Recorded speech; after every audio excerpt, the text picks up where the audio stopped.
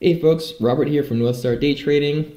Just wanted to give you a quick update and brief overview of the fair value gap strategy and the fair value gap fills strategy uh, we have converted over here to Quantower.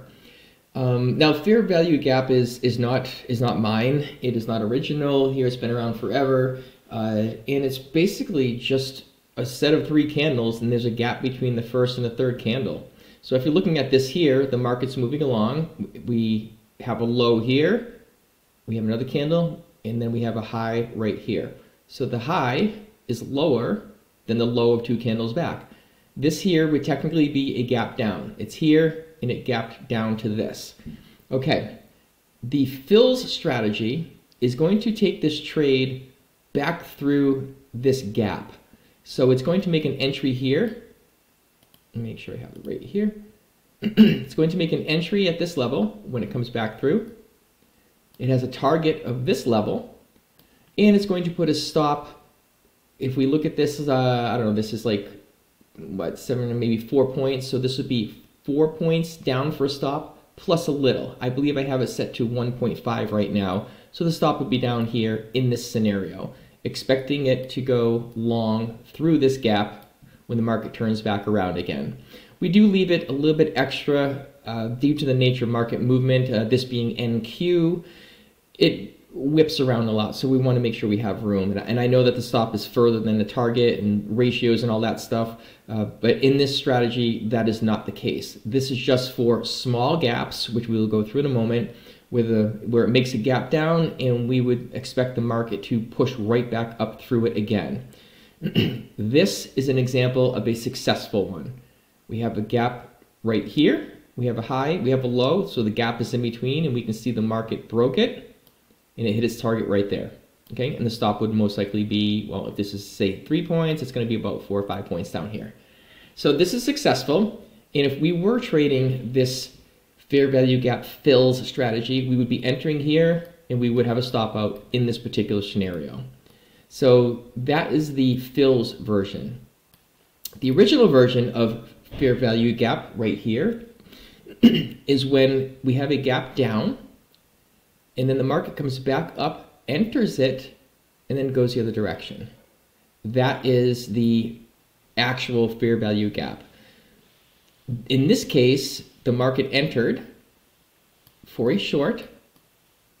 Our stop is the other side of the gap. And our target we can set to whatever we want. I have it currently set to two times the gap. So if this is four points, we have eight points. We have, excuse me, four points there. We have eight points here. So we can enter and hit our target in this scenario. So let's go in, over to Quantower itself now and see what it looks like. I'm going to start with the fair value gap fills. It's just the easiest to explain. And we can see in this particular chart, um, we potentially have an entry here. We have a potential winner. I'm not entirely sure. It depends on how the market moved. The same thing here. We, this gapped down. We have an entry. Uh, depending on how far our stop was, this could have been a stop out or we may have made our target. We'll take a look at it step by step. Looking at NQ, three minute chart on Market Replay. I just grabbed the previous week from when I'm recording this video. Uh, let's look at the settings. Click on the settings. We're using uh, this current version. We have our symbol. We want to make sure we're under the Market Replay version of it. And we have our account. We have a live account. We have our Market Replay account, which we want. In this case, because these gaps are going to be so small, these trades, we're going to increase our contracts. We're using five. In this here, we want to match uh, the strategy to the chart we're using. We don't need to. We can just set the strategy to run wherever we want. What if we're monitoring it on a chart, uh, which here if you click on visualizer, it basically pulls up a chart. If we want to visualize it, we want the chart time to be the same so we'll actually get the plots correctly matching the strategy. So here's our strategy itself. We're going to skip gaps that are uh, that are uh, um, smaller than eight ticks, which is two points. And we're going to skip gaps that are larger than 20 ticks, which is five points. So we're taking trades from two to five points. And here's a stop multiplier. We're using at one and a half. So if we had a four point trade, our stop would be six points away. This is necessary for this type of strategy. These need to be matched here if reviewing it. We don't need we don't need to view the chart at all. We can just run the strategy and let it run in the background and it'll be perfectly fine. But for this demonstration, I want to share uh, and see what this looks like. So I'm going to use a three minute chart. Under the fair value gap, I'm going to make sure I'm using a minimum size of 8, which is here, and a maximum size of 20, which is here, so we can actually see the gaps as they are being played out. So let's run this a little bit. Um, let me back this down some for speed, turn on run. And what we'll see is, well, I'm gonna actually speed this up until we until we grab a gap here so we don't have to sit around forever. Okay, oh, it was a little too fast. I didn't I didn't catch that one. um, but what we can see is there's our gap. This was a gap up this time, right? It's a, technically a gap up. So we have a high uh, here, a low here, three candle pattern. Here is the gap. So one, two, three, it made the gap down. This ended up being a short. The target was the other side. The stop was one and a half times the target. Uh, and as we can see, we entered short, covered there, uh, and it shows us right here. Enter the position, shows the target and profit, and it shows that we close at the target, and it turned out to be 285 on the very first trade, which was pretty good. Uh, let's run this a little bit more, see if we can get a couple more of them, and then we'll switch over to the other strategy. Speed this up a little bit again, see if we can capture, capture one. There we go. All right, now I have one. this is a very small one, really small. So we can see that we have another gap up. It starts plotting right here. You'll see the red here in a moment. It entered a trade. There's our target, right? Enter here, target here, and there's our stop. Just a little further away. So let's slow this down quite a bit and see if we make our target or if we make our stop. Close to the target, and you can close these out at any time. So if this gets down and it gets within a tick or two, all right, pause it. We actually made it on that one. Okay, we made it through and we have our second trade uh, here on the three minute chart, which both turned out to be good. so let's do, um, that's enough of that one as we can see, unless we want to try one more and see a loss out of this. We'll see what happens. Let's take one more trade. Then we'll switch over to the original strategy. A little bit different setup on that one, and I'll make sure we go over. Let's see if this plots one more.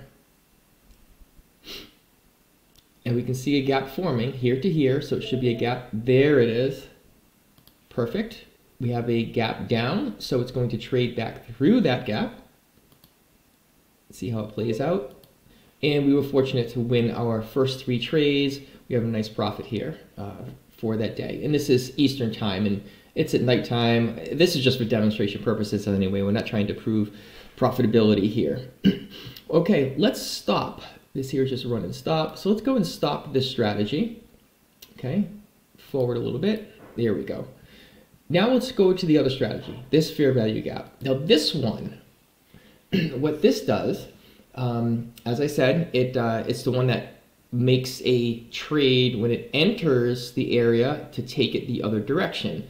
Now we don't want to use these small ones because all we're going to do is just blow right through all of these gaps, just like we did here. If this made an entry looking to go the other direction, it's only a couple points. So we need to increase our time frame. So let's go up to, let's take our chart time, um, and let's maybe, let's make it 10 minutes. And I'm not 100% sure how this is going to look, We'll make it 10 minutes. Now we go to our settings. This particular one, we have uh, our date here. Let's make sure that we are using our market replay data. We have a market replay account. In this one here, we use two contracts. They're a little bit bigger uh, gaps, so let's just knock it down to two. As a matter of fact, actually, let's knock it down to one. And we are going to use a 10 minute chart. So again, the strategy doesn't matter with the chart time. It's just that if we're going to view it and monitor on the way, we want these two to match so we can get the accurate information. And since these gaps are going to be larger, we don't want to take the real small ones. Let's let's increase it. So let's not take any gaps that are less than 10 points. This might actually be 20 points, but let's go with 10 just for testing purposes here. Um, and then we have gaps that are, are 200 ticks here. Um, so what is that divided by 4? That's 50 points. So we're taking trades between, when the gap is between 10 and 50 points. The size of the gap doesn't really matter too much because we want to get this trade just entering the gap and going the other direction.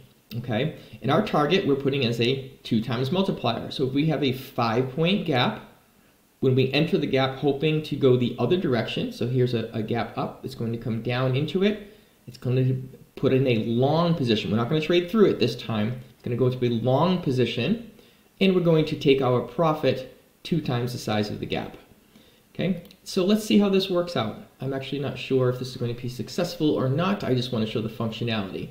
But we want to change our, our uh, indicator here to match because we're looking at it. So our minimum size of 40, maximum size of 200.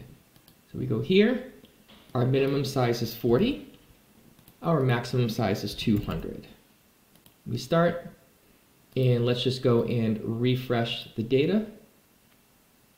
And there's nothing on the chart yet in the 10 minutes. So let's turn on our strategy and let's turn on the replay. Now these are 10 minutes, so I'm going to speed this up quite a bit until I actually see a gap. that matches the criteria. It may be a bit because this is at nighttime. Okay, we just had one. Haha, there we go. We got lucky. So here it is. We have our gap down right? A high right here, a low right here, filling the gap in between them. And if you notice, remember the last time we would be trading up through this gap. This time we're just going to go short. We have a limit order, a short, a limit short right here. And I have this set to use 25%.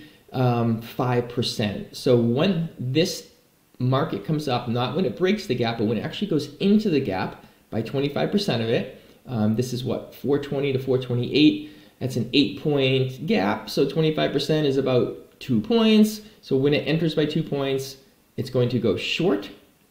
Our stop is the other side of the gap, and then our target is two times the size of the gap. So now let's go and run this and see what happens. We may simply be stopped out, but this is a demonstration, so we'll see. I'm gonna try to pause it if it gets, if it goes back up there. It's on auto auto adjust if it even reaches it. and I haven't seen this um, this particular playback. So let's wait, hope for another location, another position. We can see we have the, our working orders down here. Just get ready to pause. Okay, there we are. So we entered a short right here, thinking that we'll get stopped out, and we have our target and this is such a big push up at this time, right before the London Open.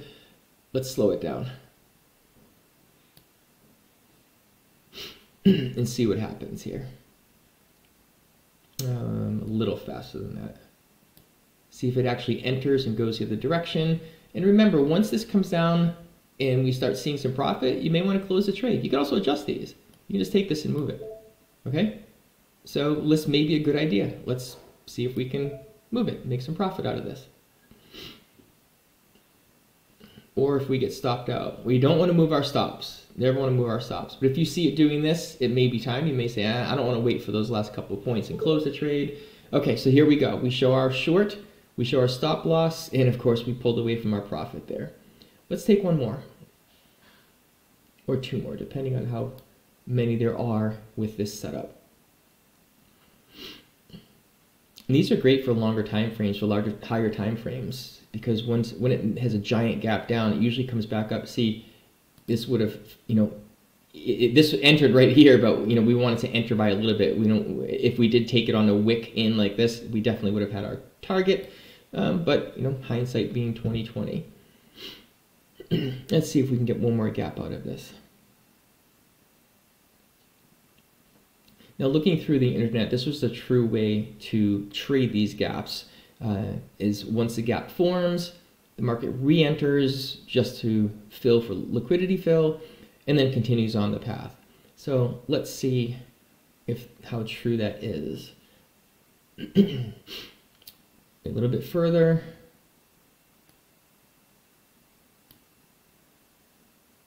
This is US market time, so hopefully we'll be able to get something here.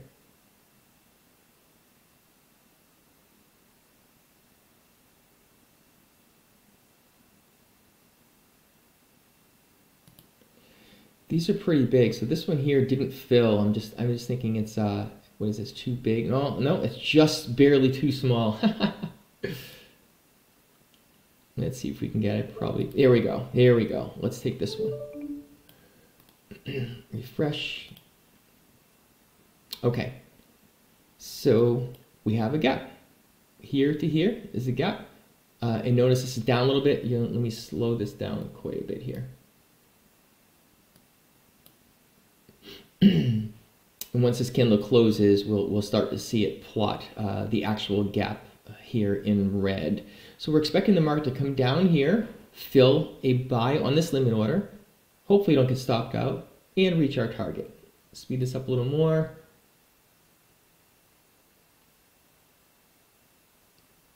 Further than that, just to get this process going.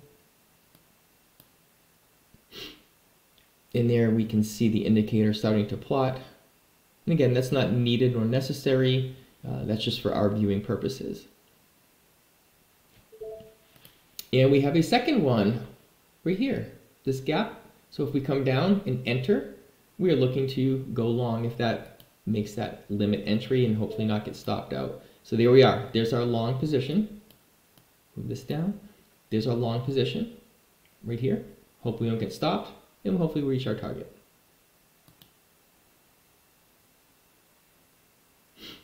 See if it pushes through.